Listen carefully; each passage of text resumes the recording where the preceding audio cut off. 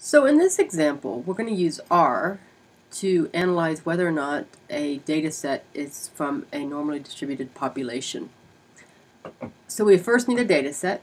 I happen to have an example that just happens to have some data and I'm looking to see if it's normally distributed. So I will, again, it's easier to copy the data, so if you can just copy the data and paste it into R, that's um, preferable. So I'm going to copy that data into R, and I just called it X. One of the first things we look at is a histogram. Um, a histogram is just hist and then your variable. When I plot that up, I get this. Um, that looks fairly good. If you want to, you can change the number of classes it created. You can also put a better title if you want. Um, you can make a color if you don't like it to be in the gray or the white that it's in right now.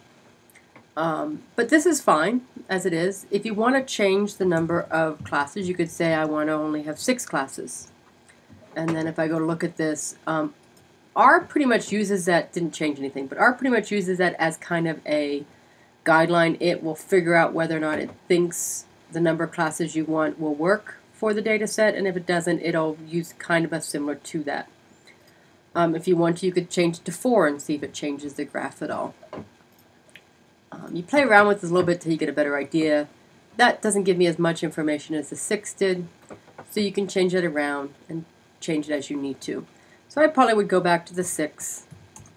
And looking at this histogram, it looks like it's, you know, it's not perfectly normally distributed. It's, or I should say bell-shaped is what we're looking for. There is this high line here, but it's not that bad off, so it might be okay. Um, another thing we look at is the number of outliers. Uh, the easiest way to find the outliers is just to do a box plot. You can just do a box plot of your variable. I'll go look at what that looks like. Um, I happen to like my box plots to be horizontal, but right now all I'm really caring about, and it should have a title and a axis label, but all I'm really caring about at this point is how many outliers does it have. And this dot here shows me that there looks like there's only one outlier. There could be two, because there could be two dots that are exactly on this spot. But from the looks of this modified box plot, it looks like there's only one outlier. So we're okay. So we've got a histogram that sort of looks normal, um, bell-shaped. We have looks like only one outlier. And then the last thing we should look at is called the normal probability plot or the normal quantile plot. And that is a QQ norm, is the way we do that, of my variable. So you just type in QQ norm of your variable, and then we'll go look to see what that graph looks like. And this is what a QQ norm graph should look like. You don't have to worry about your labels. It will automatically put labels on here for you that make sense for it. The idea of a QQ norm is does it look somewhat linear? So could you draw a line that kind of fits this data? And this one looks like it does look linear. If I started this dot and drew a line through here, I'd get close to this dot and have all the other ones in there.